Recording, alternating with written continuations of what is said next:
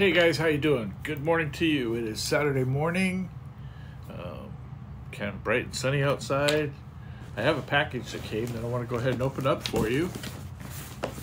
And uh, this package, um, I actually kind of know what this is. And let me tell you a little bit of the story behind this thing. I have recently sold my Charger. Um, we purchased a new vehicle. and got the uh, Ford F-150 Lightning. Um, and as I started looking through stuff, I realized I don't have battery cables anymore. Of course, the Lightning's a giant battery. Uh, and so it posed the question, well, what do you do if you need to jumpstart somebody? What do you do if, kind of a thing.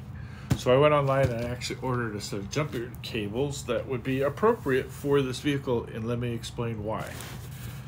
Let me go ahead and open this first. And I'm really just kind of hoping that this is exactly what I think it is, because otherwise I just told you this big long story for no reason at all.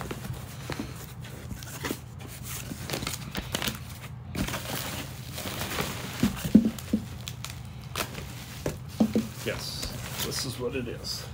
So, the idea behind this particular set of jumper cables, I know you're probably saying the jumper cables, so, so what?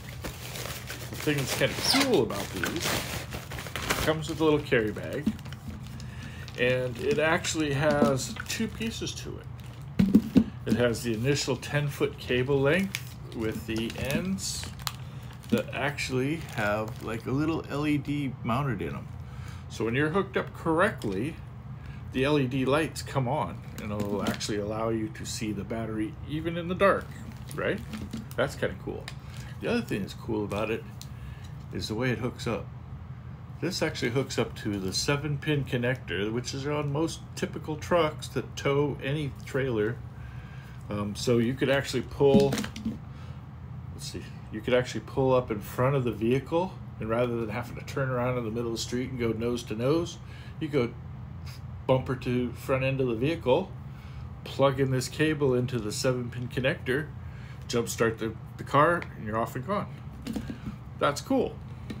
So the question actually arises then, well, what do you do if you um, can't actually do it that way? Well, it comes with an attachment that allows you to plug the one end of the cable into the other end of the cable and then it makes it straight jumper cables end to end which gives you another additional two feet so now you're talking 12 feet of cable that's actually pretty cool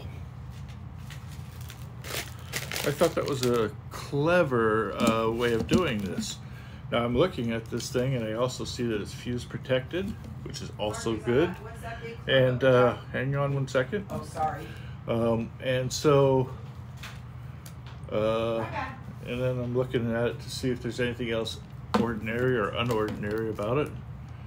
And it looks like it has some sort of shrink tube in the middle of it. I'm assuming that's to join two different types of cables together, or at least the cables with the LEDs. Do both sides have them? Both sides do have them. So both sides have the LEDs in them. Uh, and this, like I say, this end is basically just to connect to the other one to make straight uh, alligator cables or alligator clips to both sides. Um, very cool. Not that expensive. If I'm looking kind of at a receipt, of course the receipt doesn't say, but I think it was, they ran me about maybe 50 bucks, 50, 60 dollars. Wasn't that bad. Uh, yeah, so that's pretty cool. I may get a set for both trucks. We'll have to see how that goes. But now I have something I can use in the Lightning because jumping batteries on a, an electric vehicle is not as easy as you would think. There's actually a lot of precautions about doing that. However, hooking up to a seven pin trailer connector, that should be pretty straightforward, right?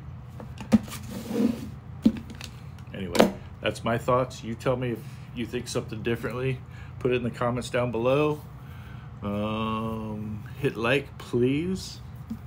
Thumbs up, you know, please. Share it with a friend if you want. Uh, subscribe if you haven't.